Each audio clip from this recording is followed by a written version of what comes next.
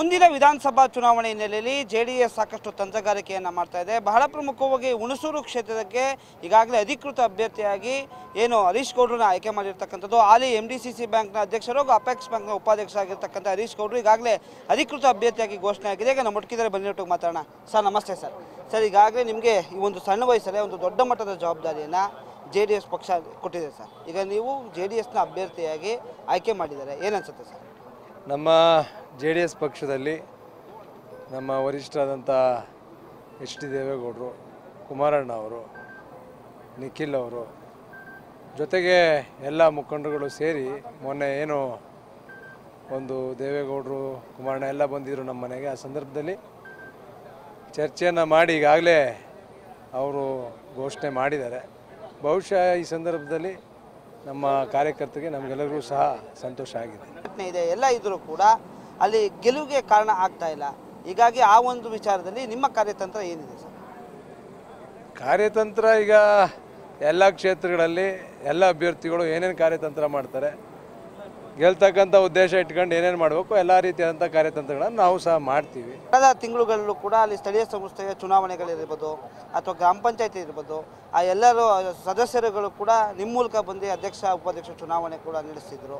ಹೀಗಾಗಿ ಅವೆಲ್ಲ plus point ಆಗ್ತದೆ ಅಂತ ಸ್ಥಳೀಯ ಸಂಸ್ಥೆ ಚುನಾವಣೆಗಳು ಜೊತೆಗೆ ನಮ್ಮ ಸಹಕಾರ ನಮ್ಮ ಸಂಘಗಳ ಚುನಾವಣೆಗಳೆಲ್ಲದರಲ್ಲೂ ಸಹ ನಾವು ಭಾಗಿಯಾಗಿದ್ದೀವಿ. ಆದ್ದರಿಂದ ಅವೆಲ್ಲವೂ ಸಹ ಈ ಒಂದು ವಿಧಾನಸಭಾ ಚುನಾವಣೆ ಪರಿಗಣನೆಗೆ ಬರುತ್ತೆ. ಯಾಕೆ ಹರೀಶ್ ಗೌಡ್ರಿಗೆ ಹುಣಸೂರು ಕ್ಷೇತ್ರದ ಮೇಲೆ ಅಷ್ಟೊಂದು ಒಲವು ಅಂತೀನಿ ಸರ್?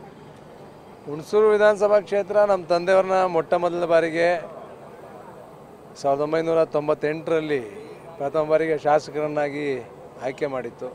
ಅದಾದ ನಂತರ ಎರಡು ಸಾವಿರದ ನಾಲ್ಕರಲ್ಲಿ ಮತ್ತೊಮ್ಮೆ ಶಾಸಕರಾಗಿ ಆಯ್ಕೆಯಾಗಿ ರಾಜ್ಯದ ಸಹಕಾರ ಸಚಿವರಾಗಿ ಕೆಲಸವನ್ನು ಮಾಡೋಕ್ಕೆ ಮಾಡೋಕ್ಕೆ ಅವಕಾಶ ಮಾಡಿಕೊಟ್ಟಂಥ ಕ್ಷೇತ್ರ ಹುಣಸೂರು.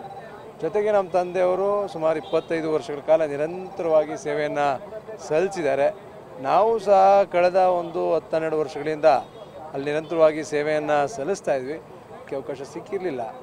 ಆದರೂ ಸಹ ಅದನ್ನೆಲ್ಲ ಬದುಗೊತ್ತಿ ಇವತ್ತು ನಮ್ಮ ತಂದೆಯವರ ಇಪ್ಪತ್ತೈದು ವರ್ಷಗಳ ಸೇವೆ, ನಾವು ಮಾಡಿರ್ತಕ್ಕಂಥ ಒಂದು ಹತ್ತೆರಡು ವರ್ಷಗಳಿಂದ ನಿರಂತರವಾಗಿ ಸಂಪರ್ಕದಲ್ಲಿ ಸೇವೆಯನ್ನು ಮಾಡಿರ್ತಕ್ಕಂಥದ್ದಕ್ಕೆ ಈ ಸಂದರ್ಭದಲ್ಲಿ ವಿಶೇಷವಾಗಿ ಹುಣಸೂರಿನ ಜನ ಪ್ರೀತಿ ವಿಶ್ವಾಸವನ್ನು ನಮಗೆ ನಮ್ಮ ತಂದೆಯವರಿಗೆ ಕೊಟ್ಟಿದ್ದಾರೆ.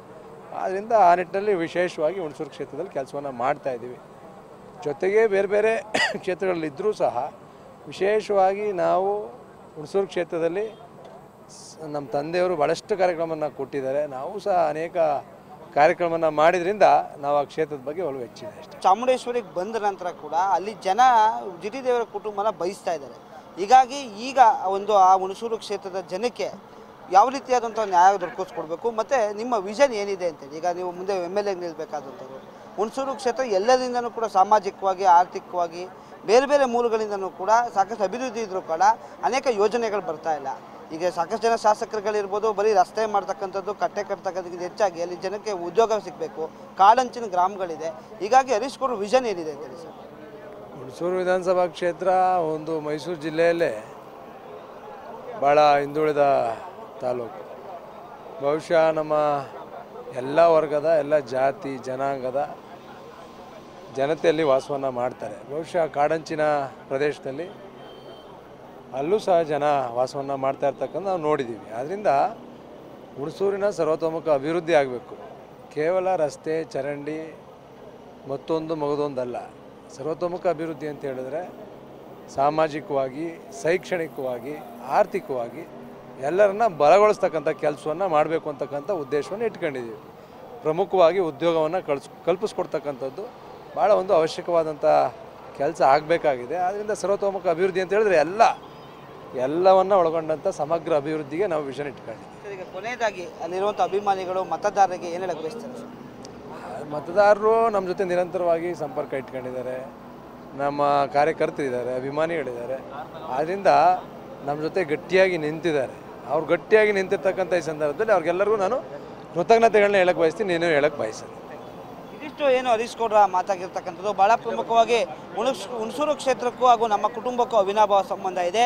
ಹೀಗಾಗಿ ಆ ಕ್ಷೇತ್ರವನ್ನು ನಾನು ಆಯ್ಕೆ ಮಾಡ್ಕೊಂಡಿದ್ದೇನೆ. ಅಲ್ಲಿ ಜನ ಕೂಡ, ಕಾರ್ಯಕರ್ತರು ಕೂಡ ಸಾಕಷ್ಟು ಗಟ್ಟಿಯಾಗಿದ್ದಾರೆ. ಹೀಗಾಗಿ ಮುಂದಿನ ವಿಧಾನಸಭಾ ಚುನಾವಣೆಯಲ್ಲಿ ಅಲ್ಲಿ ಗೆಲುವನ್ನು ಸಾಧಿಸ್ತೇನೆ ಅಂತಕ್ಕಂಥದ್ದು ಏನು ಹರೀಶ್ ಗೌಡ್ರ ಮಾತಾಗಿರ್ತಕ್ಕಂಥದ್ದು. ಕ್ಯಾಮ್ರಾಮನ್ ಉದಯ್ ಜೊತೆ ಯಶಸ್ವಿ ಮತ್ತು ನ್ಯೂಸ್ ಸಂಕರಣ, ಮೈಸೂರು.